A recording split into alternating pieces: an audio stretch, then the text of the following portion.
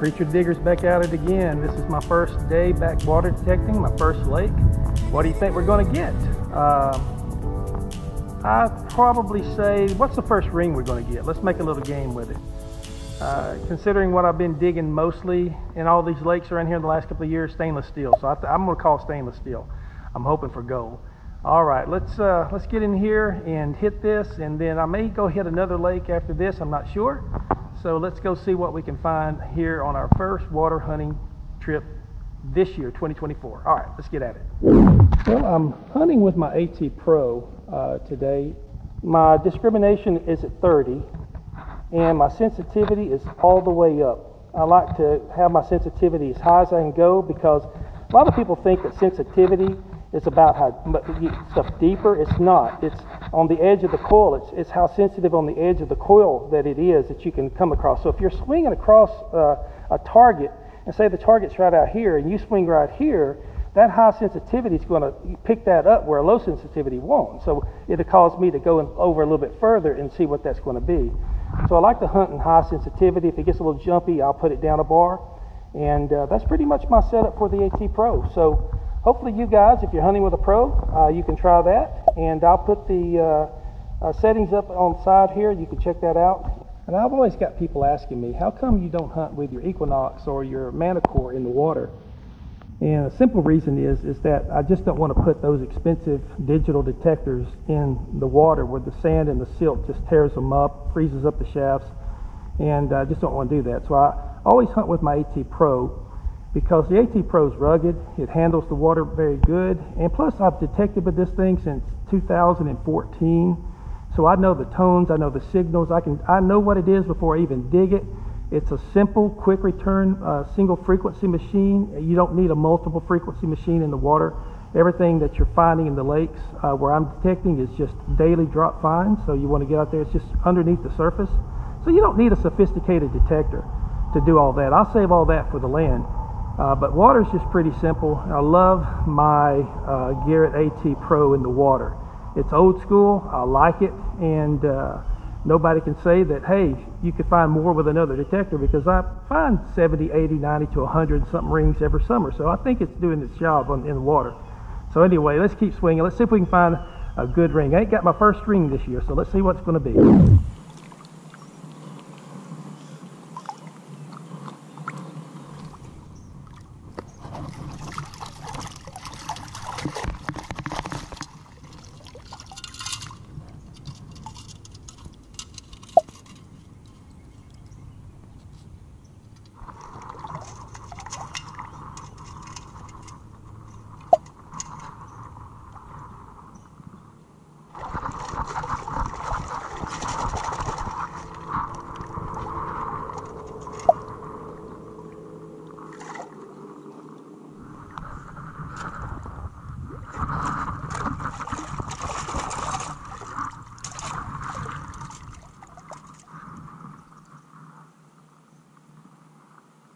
Well, my first little find was a little necklace.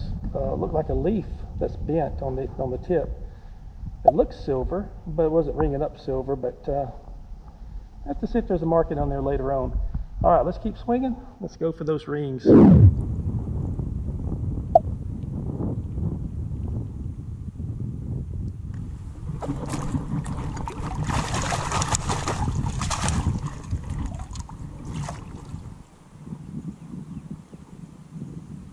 Well, not too far from that uh, other necklace, I found this gold looking, I don't know if it's gold or not. It's going to be one of those uh, Catholic saint necklaces. So I have to see if it's, uh, which saint it is and see if it's got 14K stepped on it. But it's kind of encased like in some acrylic or something. I've never seen one like this before. But anyway, that's two good finds. That's kind of telling me that hasn't been hunted out here yet. So let's uh, keep swinging. Let's see what else we can get. You know, 46, 47 to 48. That sounds like a stainless steel ring. Let's see if we can get scooped up on the first shot here. Let's see what it is.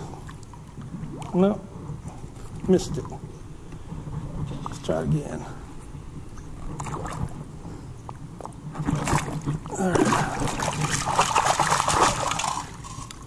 There it is. What did I call? I called a stainless steel ring, didn't I? Let's make sure it's stainless steel. Stainless steel ring. Ring number one.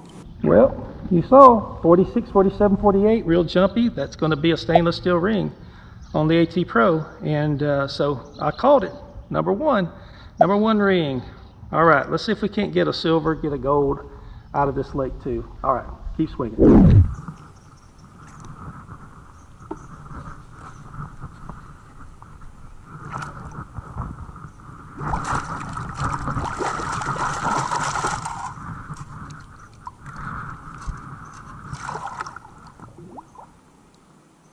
Well, not too far from that other one, maybe about two or three steps away. I got that 4950 signal, and uh, it's going to be a stainless steel ring as well, but it's a pretty stainless steel ring. I like them when they're shiny like that. All right, let's keep swinging, see what else we can get.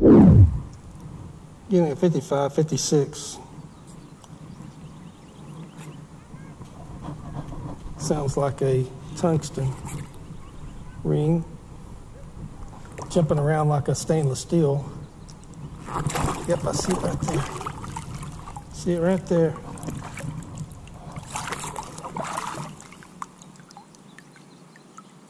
Yep, that uh, 5758 will be a tungsten ring.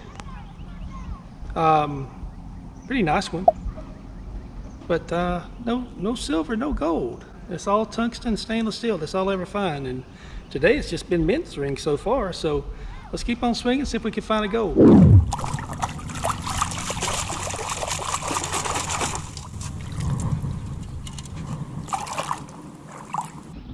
Well, I may have gotten my gold right here. It's a little nugget ring.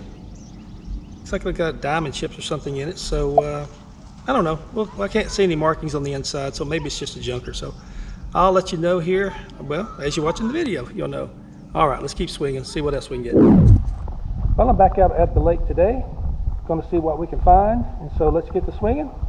Let's see if we can dig up another a ring or, or two more with the rest that I found the other day. All right, let's keep going.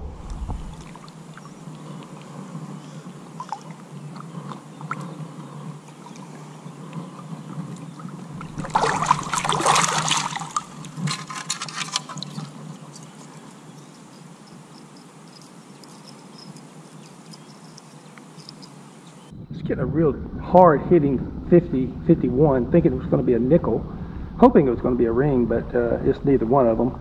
It's uh, pinky heart dog tag necklace. Never dug one of those. All right, let's keep swinging, see if we can't find us a good ring.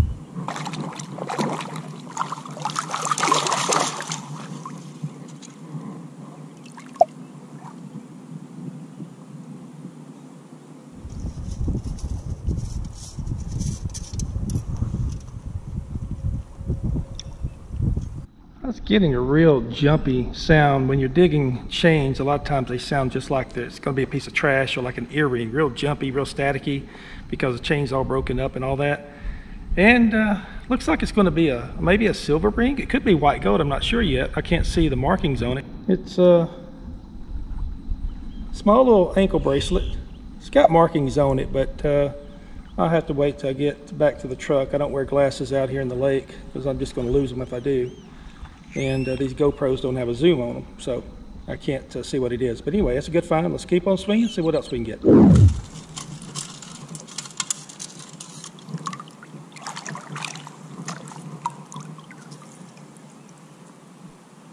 I guess today's going to be kind of a chain day, and because uh, this is my second chain, and it looks like it's going to be a, a stainless steel chain. And uh, again, bringing up real jumpy, staticky, like it's a piece of trash, but you dig them anyway. Even though it's silver, it still rings up pretty jumpy because it's a broken chain. But uh, I'll take a silver chain any day.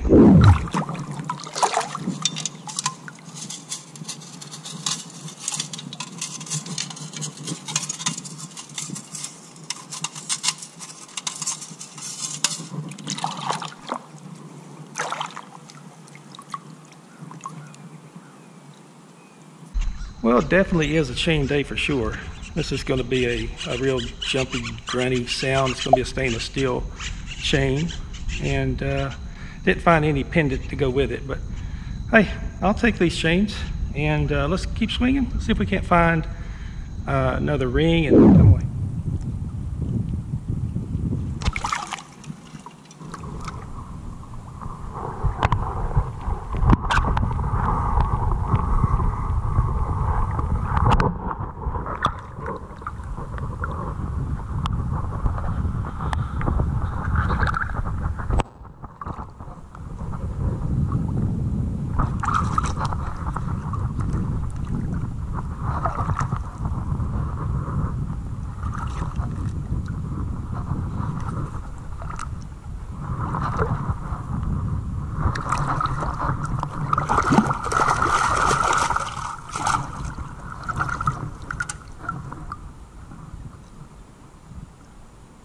Well, as you saw, I got a 90 on the AT Pro, and that's always indicative of a silver ring. Didn't know if it's going to be a big silver or smaller silver. It's going to be a, a James Avery Heart uh, arrow ring, kind of a common James Avery ring I dig here in East Texas. But uh, I'll put it with my James Avery collection. Keep swinging, see if we can't find uh, another ring, and I'm going to head off to another lake and see what we can find over there. So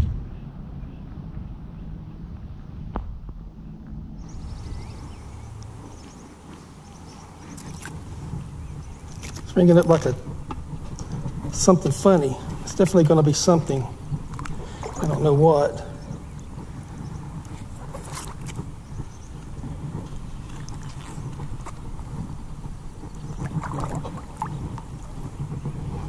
Let's see if I can get it. It's ringing up like a, a tungsten ring, what it sounds like. I can't seem to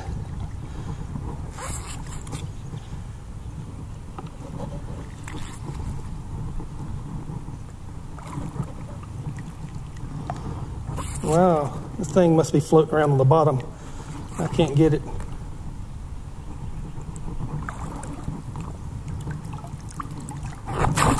All right, let's see what this mystery is. Oh gosh, look at that. That's a big old nice tungsten ring. Man, that's a big old ring.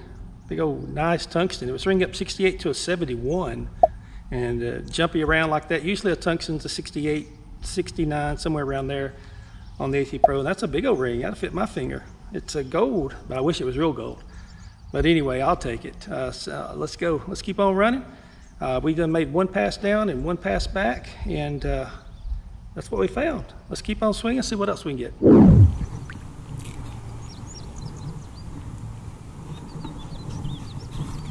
Sounds like another stainless steel ring.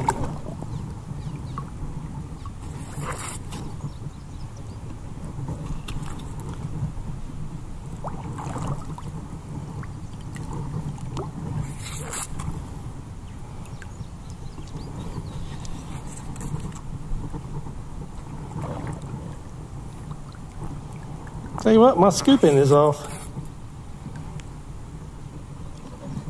There's something floating around down here.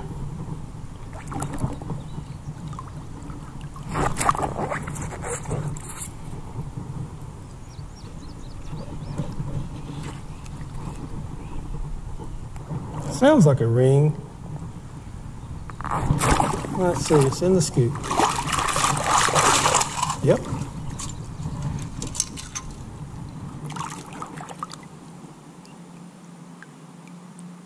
Yep, that uh, 47, 48 sounds like a stainless steel ring every time. And it is, another stainless. It seems like that's all we're digging these days out here with all the younger generations, is tungsten and stainless steel. The days of silver and definitely the days of gold are almost gone in my area. Very seldom do you find gold rings, but lots of silver, but uh, you have to be the first one on it. So let's keep swinging, see what else we can get today. Well, I was getting a, a 6970 and didn't sound like a tungsten ring and um, didn't sound like a silver ring either, but it ended up being a silver ring. A silver, probably a CZ uh, on it. But uh, first ladies ring here for today. So I'll take that. So let's keep swinging, see well, what else we can get.